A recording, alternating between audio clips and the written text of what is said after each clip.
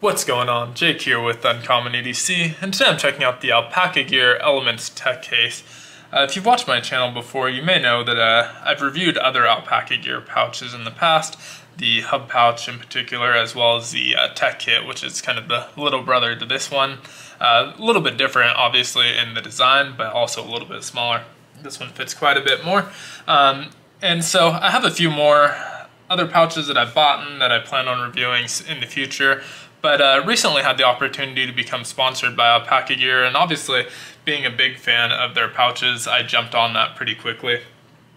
And uh, so, as an Alpaka ambassador, they sent over this pouch as well as a few other pouch, a uh, few other items that I chose to review. And um, super excited to take a look at this. I mentioned in the uh, tech kit video that I wanted to check this out anyway, so it was a nice opportunity to do so. And then obviously it's a little bit beneficial because I do now have an affiliate link that I'll list down in the description below that if you use will earn me a few dollars per purchase that uh, I can put back towards the channel at no additional cost to you. And in fact, the trade-off is that I also have a coupon code that'll save you 15% that I'll put right next to that, uh, that affiliate link that you can use to save 15%. So kind of a win-win either way, you know, I get to make a little bit of extra money that I can put towards the channel. You get to save some money if you're interested in these pouches. Um, obviously up to you if you use that link or not, but if you're interested in them, you can save some money using that coupon code and I get to review a lot more pouches on the channel. Um, I'm already buying them anyway. I have pouches that I'm still going to review that uh, I bought myself, but um, get the chance to add some that they're sending over for review as well. Um, so onto the pouch itself. This is the again the Elements Tech case. Uh, it's accordion style. It opens kind of clamshell, but not full clamshell because again it is accordion style. So um, it expands quite a bit. It, this these run seventy nine dollars no matter which colorway you get. Um, sometimes they'll do like exclusive colorways that are sometimes a few dollars more, but so far all the ones that are listed on the website are seventy nine dollars. Um, and depending on what color you get is the external material that you're going to get. So this is the dark multicam, which means it's the X-Pac X50 uh, material. But if you're getting a different color, just look in the description. It'll tell you what the external material is going to be. And obviously, if you have a preference, you can choose the color accordingly. But if you don't have a preference, it'll just, they're all, they're all relatively similar, honestly. Um, so the dimensions of this pouch are nine and a half by five and a half, and they advertise it as two and a half inches deep, but uh, obviously I have this thing pretty packed, so it's a lot thicker than two and a half inches. The nice thing about this pouch is it can also double as a sling pouch, and so if I were using it in that capacity, I'd probably pack it a little bit less thick and uh, keep it a little bit more sleek just uh, it looks a little bit better. But the way I use it which uh, is also why it's a little bit dirty is that I just kind of toss this in my backpack. And uh, you don't really see it in the backpack. You obviously see it when I pull it out but I'm not as concerned with it uh, looking sleek. Um, so not a big deal. But again another big benefit if you're using this as a sling pack the materials all the different materials are going to be weatherproof meaning that water is going to beat off them, but if you soak them, it will soak through. And then the zippers are waterproof, so they have these nice zippers. Uh, they're not YKK, but they're really nice. I haven't had any of my alpaka pouches fail on me, and they're all going to be kind of this reverse so that the seam is on the inside and uh, waterproof. Obviously, the weakness being the last little gap if you don't get it closed all the way. But these are going to be pretty weatherproof. Obviously don't soak them, but um, pretty weatherproof. And it does come with an included strap, again, to use that as a sling pack. So you just attach it to these loops here on the backside. Um, and they just slide right in there. So really simple to convert it over to that sling pack. And as a sling pack, or I guess even as a tech kit, it will fit an iPad mini. The most recent generation, which I think is six, will fit in there. Um, obviously, who knows with future iPads, but they will fit in here and uh, work pretty well. I don't have the iPad mini, I have a full size one, so wasn't able to test that out, but obviously measurement wise it will fit. And so onto this kind of front pouch, I mentioned already the waterproof zipper, but it also included this uh, nano tool, which is the phone stand. And so these just kind of slide out, out of here and it flips open into a little phone stand that you can use. Um, it mostly only works in the horizontal orientation. If you do them vertically, uh, it's a little bit unstable. It will hold it, but it's unstable. I actually took a look at the Nano tools in my review for the tech kit. So if you're interested in checking those other ones out, I'll put the link up in the corner of the video. Uh, they have a blade as well as a pen that all function as zipper tools, and this one obviously came on here. I don't know if they always will or if it'll be different ones from time to time, uh, but you can buy these separately as well.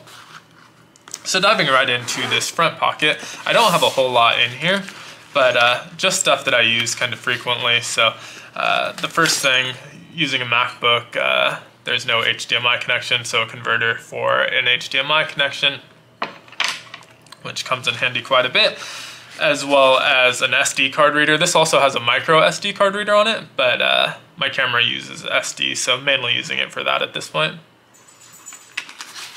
And then the last thing in this one is just a USB converter. Again, no USB on MacBooks, so I have a few of these throughout the pack, and this is just the first one, have one up front because they come in handy. Um, there's also a pass-through that's not so easy to see from here, but once we get into the main pocket, I'll leave this unzipped and show you where that pass-through hits and uh, something going through there, so just so you can get a sense of it. The inner material is this uh, blood orange, honeycomb, 200D ripstop nylon is what they're calling it, and all of the pouches, no matter what external uh, material you get, are going to have that. Sometimes you'll see on some of their other pouches that have like a blue version of it as well, uh, but all of these tech cases have the uh, orange version. One other note on these zippers, uh, which seems like I'm talking about the zippers a lot, uh, but one of the other notes is that uh, the top main compartment is lockable, so there is a pass-through there for a lock that you can use if you have any valuables in there, especially if you're putting like an iPad in there, for example. Um, you might want to lock that up. So nice little feature there.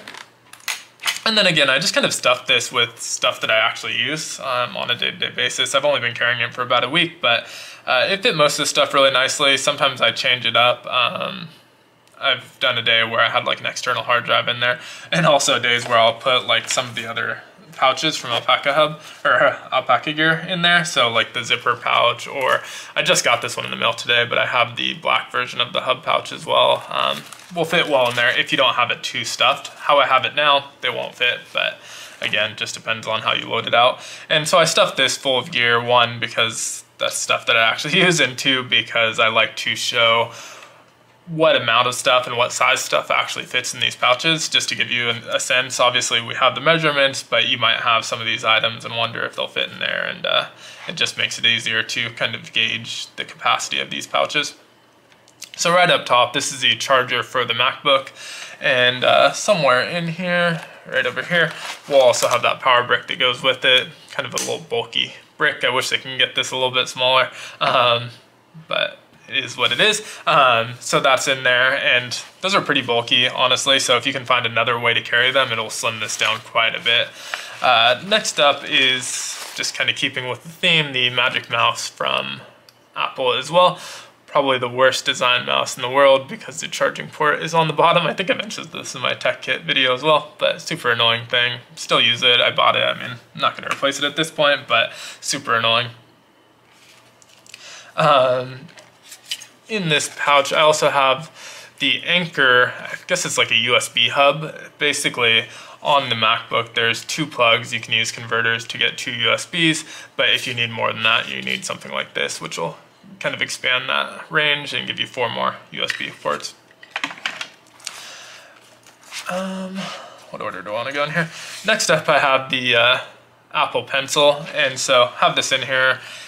It attaches magnetically to the iPad itself, but uh, depending on how you're carrying it, you might not want to uh, have it there because it will fall off and get lost in the bottom of your backpack. Um, so I do like to keep it in here, but this is a good item that I can use to show where that uh, pass-through is. So right here on the main front pouch, there's a pass-through, and you can push this through and it comes right out that main section. So this is really good if you're using it in sling mode, even if you're not, but especially if you're using it as a sling, you can put your cell phone in there and have a battery backup in the main section with a pass through to charge it here, or you can run a cable all the way across and um, have it come out and leave this zipped. It would have been nice actually to have this on both sides just so that um, which maybe they do actually. I don't think so though. No, they don't. Um, would have been nice to have it on both sides just because uh, closed, you'd want it over here. And so you just have to leave it open a little bit. But as it is, you can either leave it open all the way or run a longer cord all the way across. And some of the cords that I have in here don't really work for that. So I'll show you that. Um, but I guess you wouldn't really be using them externally in that case anyway. But again, you see, kind of see the accordion style opening here. I'll continue to pull items out, and then once I get it empty, I'll show a lot more of the inner components. But just a standard iPhone charger. The Apple AirPods, uh, I typically carry some over-the-ear headphones as well, but not within this pouch. Obviously, they wouldn't fit in here, but some over-the-ear. But these are a nice backup if your battery die and you don't want to stop listening to music or podcast or whatever you're listening to. It's nice to have some backups. And then this is the Lander battery backup. Uh, I forget how many milliamps, 6,000 milliamps. Uh, so a little bit on the smaller side, but it's relatively thin, which is nice. And um, this kind of pops out to expose the plugs. But the really nice thing about this is that it does wireless charging. So I have a relatively thick case on my phone. Uh, it's like a leather basketball case, um, but it's relatively thick, but it will charge through the case, and so that works really nicely. And uh, don't need any additional cords for that, which is really nice, but obviously you have the option of using cords if you don't have wireless charging, but a lot of newer phones do have that, so really nice option. Uh, onto this pouch, I'm not going to get into the zippers until last just to make it easier, but have a pen just for obviously writing. I usually have a pen in my front pocket as well, but uh, like to have a backup. And this is just a keyboard cleaner. It slides out with like a bristly side on this side and like a rubber grippy kind of pointed tip on this side just for cleaning up the keyboard. Super annoying when you get crumbs in there. Like with the MacBook, it's not too bad, honestly, because the keys aren't inset, but if you have a keyboard where they can fall in there, it's a nice thing to have. But even with the MacBook, it's nice to be able to just kind of sweep up crumbs if they get there. And then also a power brick for the phone charger, which is always nice to have if you're plugging into a wall. Obviously, that's better than using your backup just to save battery. Uh, and then this is an extendable HDMI cord, which comes in really handy. It's not super long. I don't remember how long it is, maybe three or four feet. Um, so not super long, but really nice to have, especially if you're, you know, I've been going to the office a little bit more frequently, and our conference room typically has extra HDMI cables, but uh, sometimes you're going to like client offices and they don't, or there there is one, but it's plugged into their main computer and they don't want to unplug it. And so just nice to have one. This one is relatively short, meaning you're going to be close to the TV, but better than nothing, and uh, relatively compact. You probably could get more compact without this if you got like a flat cable and wound it up yourself without the plastic housing, uh, but it keeps it pretty organized in there, which is nice. Um, and then in this last section over here, just a cleaning cloth. This is a Civivi one, comes with all their knives. I have a ton of random ones from Civivi and other brands, and so that'll typically live in most of my pouches. Uh, even if it's not for tech, just to clean screens, knives, anything that you have with you, um, your phone. So nice to have. And then this came with it, but I will usually have one in there anyway, which is a 32 page plain notebook, uh, just plain on the inside, which I like. Uh, this one, again, came with this pouch actually, but I'll usually carry either like a login jotter or a field notes, which are all three and a half by five and a half, just like this. And uh, that usually lives in my front pocket if I'm wearing like a button-up shirt or my back pocket if I'm not. But I like to have a backup in my bag just in case I run out of pages or I really want to write something unrelated.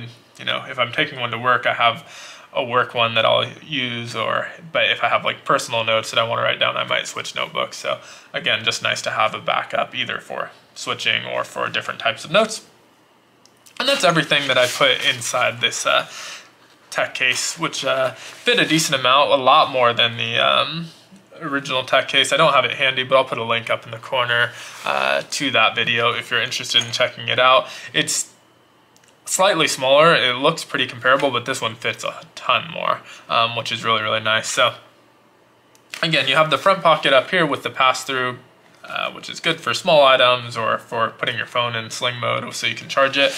Um, and then it accordions out, and so you obviously have all of these accordion slots, but within there. There's some additional organization, and that's actually not it. I forgot uh, everything in the zipper pockets, which um, isn't a ton, but uh, we'll get into there as I'm showing those pockets. Um, so two of the slots have zipper pockets, this back one and then the one right in front of it. And then in the front section, you have these two bigger kind of slots that go about half the length. So this is nine and a half inches. So you figure they're about uh, four inches or so each. Uh, kind of slid out of the way uh, right here. Um, four inches or so each for those slots. It'll fit something like, I had the Magic Mouse in there, but it'll fit like one of these power bricks or anything really that you want to kind of keep from sliding around. And then these zipper pockets, the first one has some organization compartments. So in here, I don't have a whole lot. I have two extra uh, iPhone chargers. Again, super redundant. I have the full size and you'll see a couple more as I go through this, but I feel like this is probably the item I use the most in here because people will ask to borrow a cord, a charging cord, and sometimes more than one person at a time needs one, and so it's just nice to have extras. Um, and these ones are really nice because they have a little bit of length to them. I think they're six or seven inches, and so you can use that in that pass-through to charge your phone or for longer things if you're plugging into like a desktop computer or a wall socket, it gives you a little bit of extra length. Um, still probably would want to use the full size for that, but it does give you a little bit of extra length, which is nice. Um, especially if like, on a, again, on a desktop, you can put it on top of the computer and have a few inches to charge, whereas some of the other chargers I'm about to show do not have that option. Uh, so next up is this cable card, and this is inside one of those slots. So again, there's three organizational slots in here and this is inside there. Uh, I'm gonna open it off camera just because it's a little bit difficult to open. Uh, but in here there's some, well, one cord and then a bunch of converters so you can charge via USB, uh, your phone or your Android, or your iPhone or your Android. It has a SIM card ejector and then you can also uh, plug this in and use it as a flashlight. So there's a small flashlight in here that works really nicely. Don't get a ton of use out of it because I typically have a flashlight that I EDC as well as obviously the flashlight on my phone. But this one's nice because it's just kind of sitting there. Um, so you, nice little backup flashlight that works with that battery. Uh, and that's it in this pocket. Not a whole lot. It can definitely fit a lot more, but just didn't really have anything that uh, I felt like throwing in there and didn't want to throw stuff in there for the sake of throwing it in there. And then this back one, and again, this is on the last divider. This one, I just have a bunch of free-floating USB type things, and there's no organization in this pocket, so it's just kind of floating around in there. Um, but it has a USB condom. I mentioned this in the tech kit video as well. Uh, this is really nice if you want to charge your phone on someone's computer, but you don't want data to pass through, especially if you're at like an employer's computer where if you're plugging into it, they have rights to view any data passing through their computer and you don't want the data going from your phone to the computer. This keeps it from happening and only lets power through. So that's really cool. This is one of the lever charging cables. It has both iPhone and Android charging on there, as well as a SIM card ejector as well. So a little bit of redundancy there. And again, this one's not very good for like if you're plugging into a desktop because you're gonna plug it into that USB. It's stiff and only like two, maybe two and a half inches. And so you plug your phone in there and it's just gonna fall right out because it's too heavy. So this is nice for like the battery backup and stuff like that, but it's not super useful if you're trying to plug it into a wall or a computer. So nice to have that redundancy. Next up is two more of those USB converters again for the MacBook. So you have a couple more USB plugs. Uh, this came in a two pack, so I carry both. Um, which means I have three converters and only two two slots to convert from. So again, a little bit redundant, but you never know. One might stop working, and they're so small that no reason not to carry it. Uh, this is a micro SD card reader. Again, redundant with the SD card reader because that has micro as well. Uh, but I didn't used to, I used to just carry this one and uh, with my new camera it takes full size SD cards and so I converted over to that one and still have this in there. It's pretty small, so good to lend out. I don't care if I lose it because I have my other one, um, or if like I don't get it back from someone I lend it to, it's not the biggest deal in the world. So nice to have just kind of some redundancy there. That's super small footprint as well. And then this uh, USB data drive, 64 gigs, have some files on there, but also just for grabbing files from other people. Uh, nice to have and usually there's probably more floating around in my backpack, honestly, that aren't within the pouch. I like the front pocket always has some, so I usually have more than one of those. Um, surprised I don't have more than one in this pouch actually. Uh, but now that's everything. So you get a kind of sense of all of the different storage options inside. It's very kind of robust and fits a ton more than the Tech Kit, even though they're pretty similar dimension-wise. Um, this one fits so, so much more, uh, which is really nice. I'm glad I was able to check this out. Uh, if you're interested in checking it out, I'll put a link down in the description below. Obviously, that link works for any of the items on Alpaka. for me, I'm mainly into a lot of their like pouches and EDC stuff because that's what my center channel centers around. But I also uh, they have backpacks, which I'm really into as well. I don't put as much of that kind of stuff on my channel, but I do have a pretty big collection. Uh, take them to work. I always have a, either a backpack or a shoulder bag, like messenger style bag on me. Um, so definitely into that stuff as well. So if you're into that, they have that available as well. Um, but again, don't do so much of that on the channel. But thanks so much for checking it out. Let me know what you think of the Alpaka Gear Elements Tech case down in the comments below. Be sure to like, subscribe, and hit that notification bell. And as always, hope you have a great one. Take care.